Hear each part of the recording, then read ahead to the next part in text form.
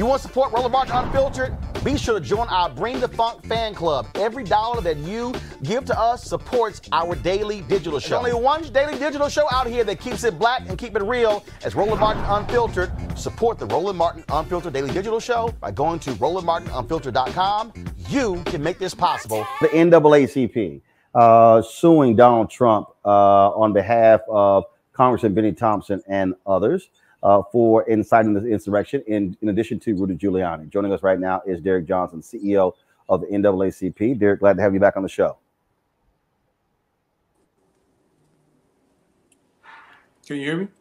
Uh, yeah, go ahead and talk, Derek. Derrick, go ahead. Can you hear me now? Yep, I got you. I got you. All right. Uh, when, when the day this the day uh, this was announced, I had a guest on the show uh, who said the NAACP is wasting precious time filing this lawsuit. Uh, and the, and the guest said they should be more concerned about uh, what's happening in the black community. I said, well, they can actually, you know, chew gum and talk at the same time. I don't see what the big deal is. Um, why did, did, did, you decide to come out uh, this quick with this lawsuit uh, against Trump, against Giuliani?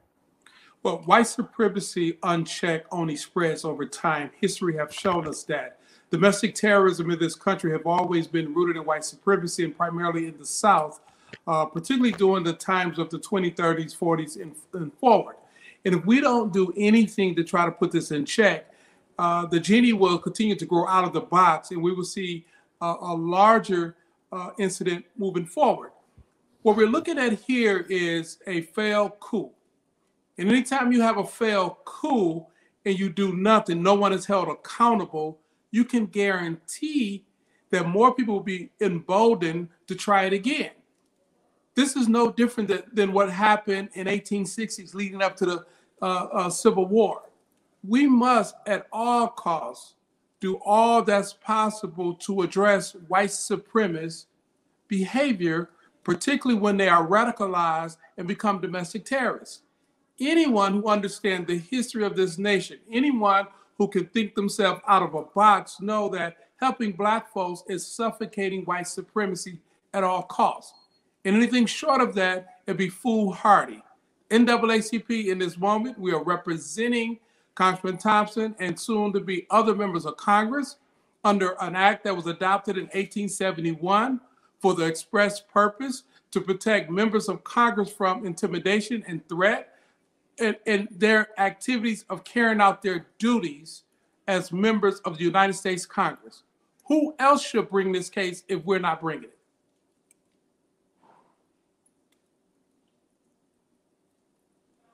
Is and this is the point that I have been making that at some point there has to be accountability.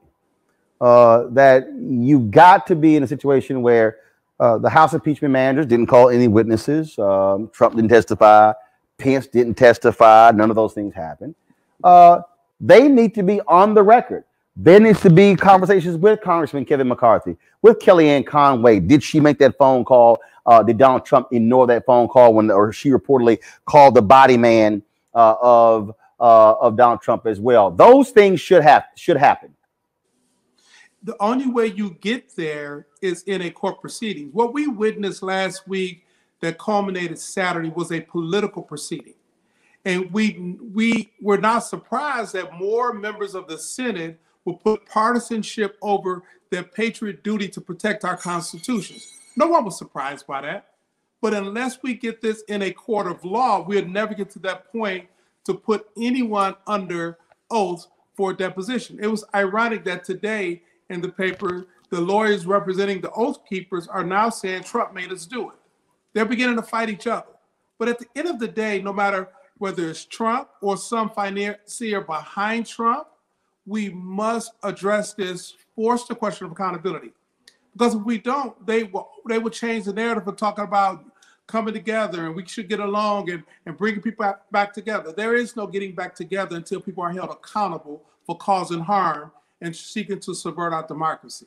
All right, folks, back to that Roland Martin Unfiltered video in just one moment. It's time to be smart.